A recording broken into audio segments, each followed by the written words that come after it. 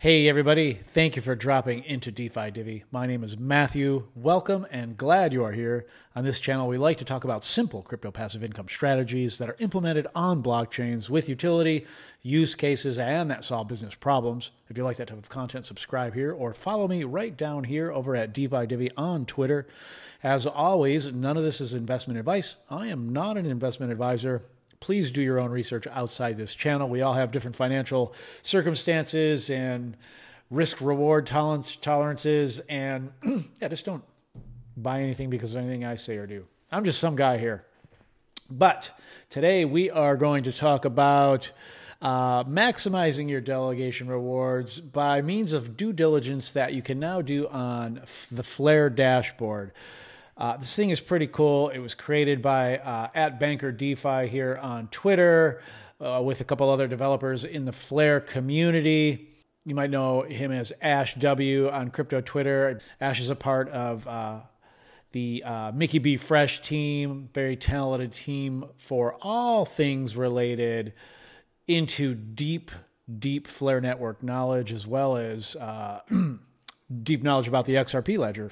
So great stuff over there. Follow all those guys. And uh, so yeah, first, I was really honored when this project was just getting underway, the Flare dashboard. Ash actually reached out to me to see if I wanted to uh, help with it. I'm a developer. I've been a developer for a long time, over 20 years. Uh, rolled out SaaS products and lots of Web 2 things and Web three as well now that's here, and this is fun. And I just yeah, I get geeked up on on it. And but I I had a decline unfortunately because I was just too busy. But maybe I'll be able to contribute somehow in the future. So uh, I appreciate that Ash for reaching out and and this thing's coming along. It moves forward. I had no doubt Ash would be able to move this thing forward, and now it's out, and we have this very cool dashboard where we can research specific data about each Flare time series Oracle provider. TSO for short, whether it's Flare Time Series Oracle or a Songbird Time Series Oracle provider. Basically, if you don't know, uh, well, first, if you don't know, if you're not familiar with the Flare, Flare network, or Flare networks, I should say, uh, it is a layer one blockchain that solves the problem of interoperability in a decentralized, trustless manner. Uh, think of uh, an oracle that handles the entire problem in a completely decentralized way. So, no centralized oracle problems here.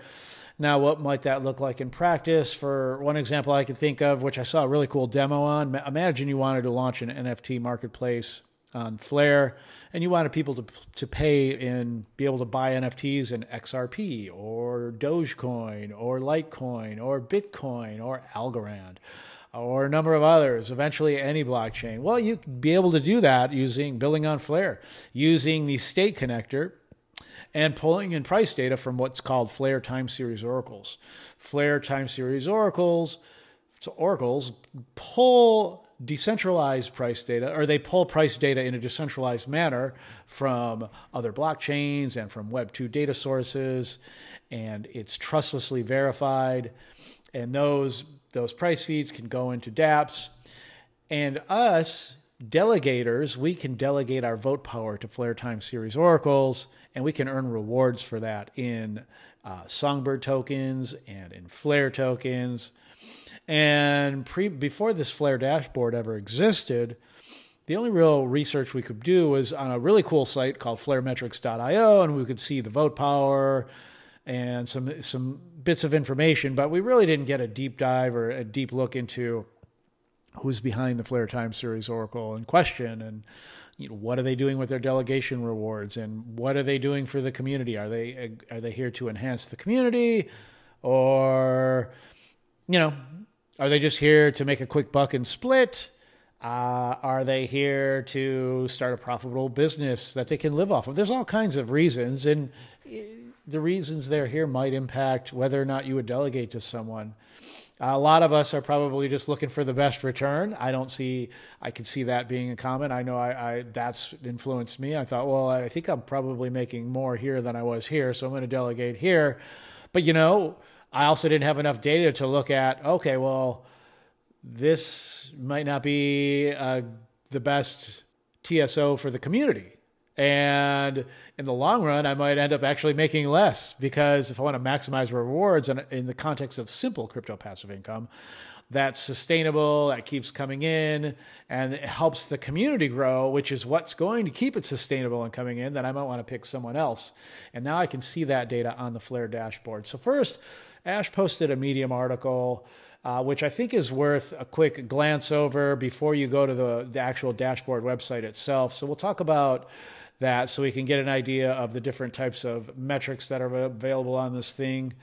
And then We'll talk about some of the other features like ways, if you are a developer, how you can pull this data into your own application. So I thought that was really cool.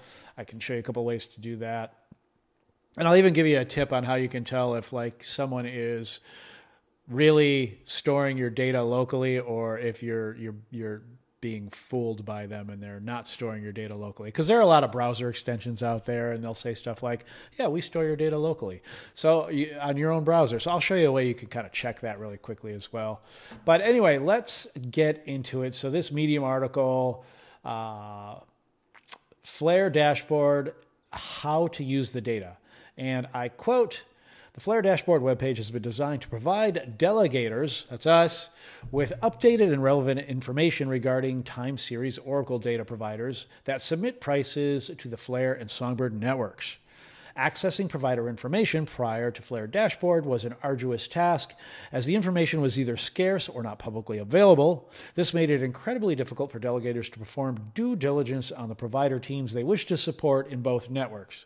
As a result, delegators have largely relied on the reward rate metric in their vote power delegations. Uh, the purpose of this documentation is to outline the data displayed on the Flare dashboard, where and how it is sourced, the quality of the data, and how various stakeholders in the Flare and Songbird ecosystem can use the data effectively. And then it talks about some reasons we might delegate or choose certain providers. Uh, and I quote community token holders participate in the TSO by wrapping their Flare or Songbird, which you know probably, unless you're new to Flare networks, and delegating up to two providers of their choice. There are several reasons why a delegator may contribute their vote power to a particular TSO data provider. One, to earn a share of the network's inflation each epoch. So, yeah, we want to delegate to someone so we can get those rewards. We want to increase our bags down the road. This might look like um, simple crypto passive income that we get every couple days with the Flare networks that we get every uh, Saturday or Sunday with Songbird. We might take that, we might put it back on a market, convert it into the fiat currency of the country we live in, and pay all our bills with it. Who knows? Uh, that's where a lot of us are thinking that this could grow to. Flare Networks is new, of course. If you don't know that, maybe not, of course, maybe you don't know that Flare Networks is new. It's solving big problems. So I believe in the project, but it is new, so there's risk there. You know, any cryptocurrency can go to zero, no question. So keep that in mind. But this is real simple crypto passive income that we're believing will will grow into something substantial in the future and right now, with prices being so low, like I think Songbird token is coming up again, uh, almost back at a penny. I, I bought a little more at 0.7 cents. I'll probably buy a little more soon. And then Flare is, it went back down. It was up over 4 cents last week. So this looks like a, an opportunity I might take as well here. I've been buying some other stuff right now, uh, actually in stocks, but I will. Yeah, crypto is my favorite. Cryptocurrency is so fun for me, especially with new networks that solve big problems. Anything that has utility, solving business problems. If you watch this channel, you know I talk about those blockchains. And Flare is one I talk about a lot. But let's get back to this. So, yeah, obviously we would delegate to a signal provider to earn rewards. Uh, we might delegate to a certain provider um, to support a provider with a strong public presence and transparency to the community, to support a provider that submits prices using algorithms that deploy safeguards. For example, an algorithm that sources USD only markets for asset prices when USDT USDC and other stablecoins become depegged, which we've seen that happen recently. We saw uh, USDC lose its peg for a minute there, down down, to the low 90 cents. Uh, everyone's waiting for something to happen with Tether, but so far, so good. Uh, we might delegate to support a provider whose data is sourced and submitted through reliable, secure infrastructure. Uh, yeah, that's a, that's a big one. I think quite a few are using AWS cloud services for that. I know when I was researching uh, becoming a data provider, I was looking into AWS. Um, what else? To support provider, teams that uses their revenue generated to build tools, resources, and dApps for the community to use. Yeah, this is huge right here because this ultimately, this second one, I'll repeat it, to support a provider team that uses their revenue generated from TSO to build tools, resources, and decentralized applications for the community to use. Basically, what he said there. Uh, you know, we might want to support. We might feel real, might really benefit us in the long run, just from an investor standpoint, if we are delegating to supporters who are taking their rewards because we're helping them earn rewards with our by delegating our vote power to them, and they're taking those rewards, and they are using that those rewards to reinvest and build other things. And they might have to pay some bills with those rewards. So it's kind of a tricky thing. You know, the uh, ultimately I know when I was thinking about becoming a, a, a, a signal provider, I thought, well, this could be great because it's going to be a source of passive income and I could use those rewards and, and, and do exactly that, build more tools and resources for the community. But I learned uh, before this dashboard came out, I kind of did some research and thought this this is not going to be passive income. This is going to be active income. Not only that, it's going to probably be like a business where I'm running at a loss for a while before I'm running at a gain. And that's great. I love those types of risk reward scenarios. I've done it before as an entrepreneur and they're fun. I just I just didn't uh, move forward with this at the time, but I, I'm glad my pricing estimates were right because there are on this Flare dashboard, which we'll get into a second, you can see the infrastructure costs that some people are posting on here, and they're well right in the range I thought, and some are and some is even some of these monthly costs are even more expensive. So it's a substantial investment. It's not passive income to be a signal provider, but if you're a developer nerd like me and you you're good with infrastructure as well, cloud infrastructure, then you have a good shot, especially if you can get a grant or some sort of, you know, if you look at it through that lens, you want to get a grant or something and and and you're good at marketing. You're going to have to be good at marketing as well. You're going to have to add value to the Flare community so they know who you are and so they will feel good about delegating to you. It's not an easy thing, but it's a very it could be a very rewarding thing. So it's still in the back of my head. Right now I'm building some other fun things. But I get sidetracked, and I'm not even drinking caffeine right now. I'm drinking water. Uh, so back to this, the Flare dashboard contains a free-to-use public web page that displays data provided by T, uh, data providers, TSO data providers, who are currently submitting prices on the Flare and Songbird networks. The website obtains its data from our public GitHub database, where new and existing data providers are encouraged to list and update information on their TSO operations respectfully. So if you're a data provider, you go to this GitHub repo, you, it looks like you just upload a JSON file which has your information, and then this JSON data is pulled into this dashboard. And likewise, if you're a developer, you can use this JSON data for your own application. So I think that is really cool. Great approach uh, taken there by Ash and the other contributors. I'd like to give you guys credit. I, I, I always forget who the other person is. I think they're more of a dev and less in the public eye, which I get. It's funny on other ventures. I did not play the role of marketer at all, and I was just the dev behind the scenes, and I like it. It's fun because that nerds me out. But yeah, you wouldn't even know I existed from the public standpoint.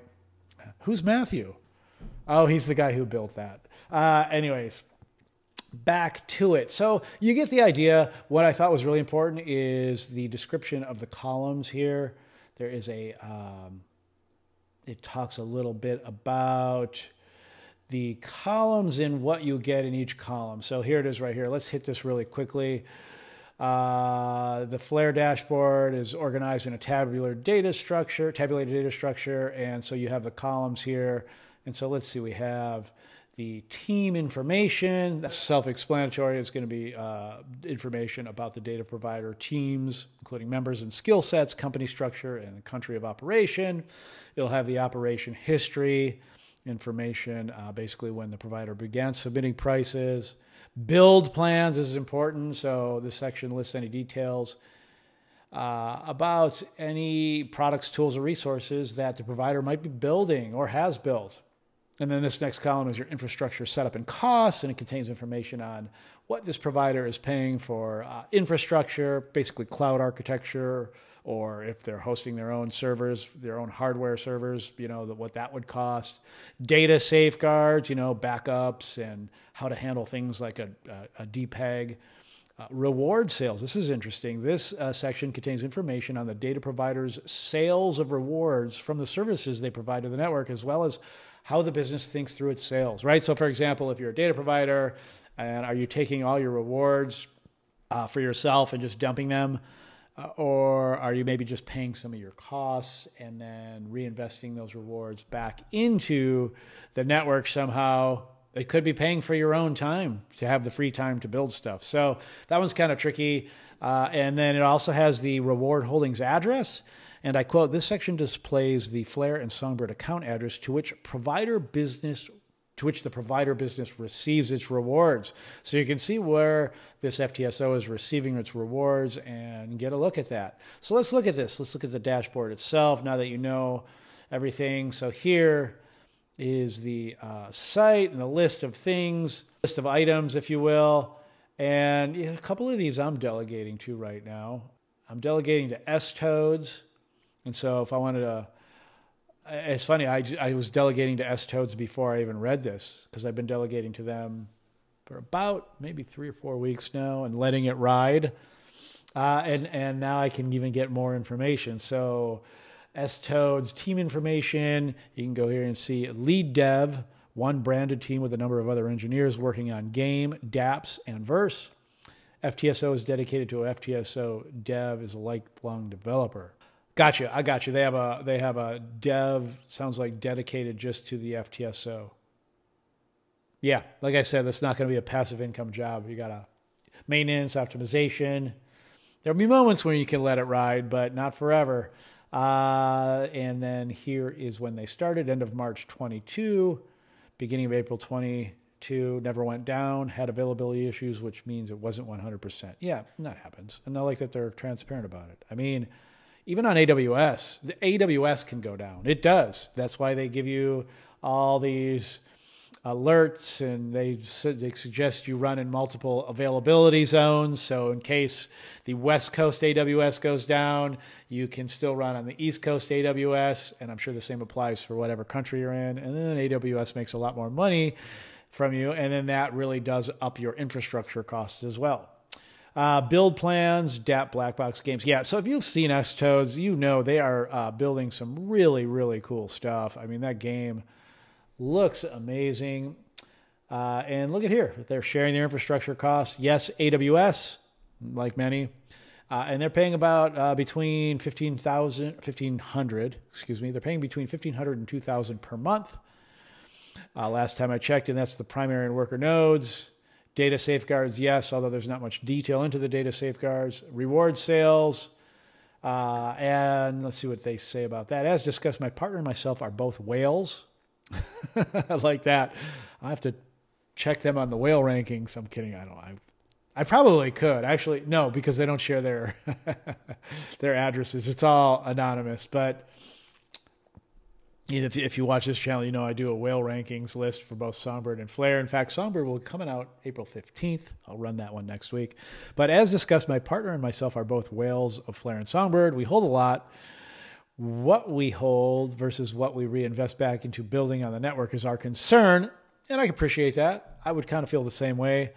Um, we reinvest rewards back into our ecosystem to build Flare, to build on Flare, the XRP Ledger, and Songbird, and to cover hosting costs. Reality is, our product suites will result in more value to the network as opposed to holding onto the assets. There is this notion that if you sell rewards, you are a bad actor or a steward. Incorrect. And I agree, that is incorrect. If these guys, I would, I would probably, this is total presumption, speculation, I would speculate that looking at the quality of what S Toads is building, they're doing this full time. And so maybe they're literally paying themselves with their rewards. So they're probably selling and then they're they're working full that enables them to work full time on the game they're building which looks epic by the way as i already said because you're not going to roll out a game like that being part-time so you're either got a grant or you're paying yourself with your rewards or you've just maybe you got into the crypto space earlier and you are you know you you're just you you've sold off a long time ago and you've reinvested into some simple stuff you know you, a lot of we're in you know we're 14 years into the cryptocurrency space now. Maybe they bought bitcoin a while ago but otherwise if it's not something like that then you'd have to have a day job somehow right? And you wouldn't have time to build really quality stuff. So I get it. It's their concern, and it wouldn't bother me at all. It, it's something to think about in terms of the price. And this, this at these early days, this may keep the price down for a little bit. And what happens? But these DApps get built, and they will result in in buy pressure, and ideally that will raise transaction fees, which will go back into the network as well. And so inflation goes down, transaction fees goes up, go up and that benefits everybody. So very cool. And they didn't leave their rewards holding address, which no biggie to me. Uh, but yeah, so I'm still I'm still with them. I like to change it up. I'm not saying I'm going to stay there forever. I was here. I was before on FTSO AU and on Flare Oracle. I thought what Flare Oracle Oracle wrote was pretty cool because they gave some big reveals. So the team you have Miko, developer, Finland, Mark, product designer, and uh, so it's basically these two, Miko, the developer, and uh, Mark is the product designer manager, and they're uh, based out of the Netherlands, it looks like. And then their operation history goes back to October 2021. Uh, Epoch 4 of Songbird, and they run Flare nodes and attestation providers and attestation providers from August 2022. And their build plans uh, delegation wrapping and claiming tools, delegation dashboard built on SGB coming to Flare, responsive metrics dashboard, uh, Fort NFT gallery built on Songbird coming to Flare. Uh, I'm telling you, this is why I did a video about Songbird is going to be higher than Flare because a lot of these projects they start on songbird they move to flare and they don't get rid of songbird. It's a real token real monetary value with much smaller supply which is why i'm probably going to buy some more songbird this week. Anyways bonus reward token pixel chain olympics blockchain nft play to earn game coming to songbird. Wow that's cool.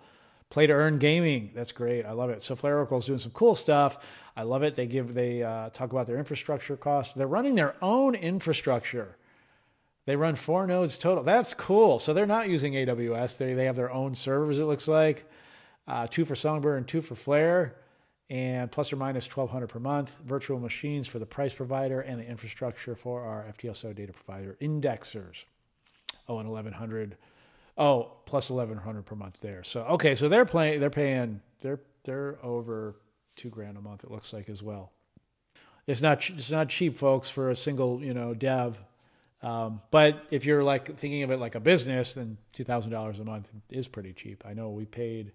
Well, it was funny. The last business I ran, I think we, our hosting costs were still under like four or five hundred bucks, but we were doing like real revenue. It was supporting three of us. It was amazing, uh, but it was a uh, expensive subscription SaaS product, and it didn't need uh, to handle a lot of traffic. Something like this is going to have to handle handle some uh, bandwidth, basically, but uh, data safeguards. Yes, our provider tracks USD and also looks at USD prices for our fallback systems. And then our costs are less than, this is pretty cool. So they look profitable.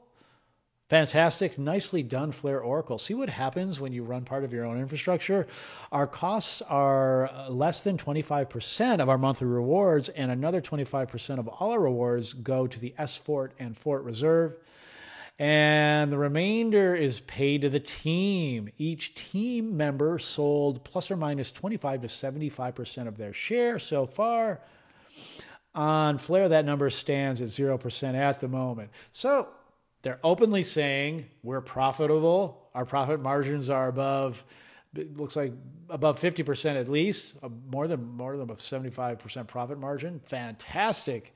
Because some of these other signal providers are still running at a loss and they're going and these rewards are going to the team and their team is selling some and i have no problem with that because that supports the team and the team can continue to build these cool things play to earn game is no joke. Uh, single, it's not. That's not going to be built by one developer who who knows how to do you know React. It's that's real. That's some real effort there, and so you have to be able to support yourself and do it full time. A couple guys at least. And then they do leave their rewards addresses. So if you want to click that, it'll take you to the Block Explorer where you can take a look. And yeah, I have this stuff going into my um, rich list whale rankings application as well. So fun stuff. Anyway, very cool. So I love this. I'll let you look at this. Oh, I promised I was going to give you a uh, a tip on how to know if like someone says, you know, here, use my browser extension. All the data, including your crypto wallet address, is only stored locally. So I looked into the uh, ways to get access to this data, and you could just go right to the Git repo. Uh, but before I saw that, I was just looking for maybe like an API on the website, and I didn't see one. So I, what I did was I, I, I clicked, I right clicked on the page and I hit inspect through the menu. So you just hit inspect. And then once you're here, this is known as the developer console in Chrome. I'm on Brave actually. And then you go to the network tab. And then once you're in the network tab, just hit the website again. Boom. And you'll see once you hit the website, this is all the network requests that the website is making under the hood from your browser. And this would apply if you're using a browser extension as well. So if you open up something like Hashpack or, uh, sorry, I know this is a Flare video, but Hashpack's just sitting there front and center, or MetaMask, you you will see all the network requests, and then you can click on it, and you'll see like you can go to preview, and you can see all the data from this specific request, the response. But the point is, you can see that this DApp, when you refresh it, makes a bunch of requests to remote locations, and it might pass some data, basic data about your computer, but nothing, nothing big. But now, let's say you open a browser extension and someone's telling you that if you use this tool, all the data is stored locally, and you go to this network tab and you refresh and open it and open the browser extension and do the same type of inspect that you did here. If you see requests going out to a third party that include your wallet address in the headers or what's known as the payload, then you know that that data is probably not just being stored locally on your browser, it's also being sent somewhere. So you would not see any requests here on the network tab, especially under this section right here called fetch XHR, which is basically an AJAX request. So, so you should see zero AJAX requests, nothing here that would include especially your wallet address if an app is telling you okay yeah you're only storing your data locally so just a little little tip i hope that helps probably too much information uh, it could be the caffeine but I'm going to wrap this one up, everybody. I hope this video finds you well and that you're having an amazing day, and I will see you in the next one. Bye.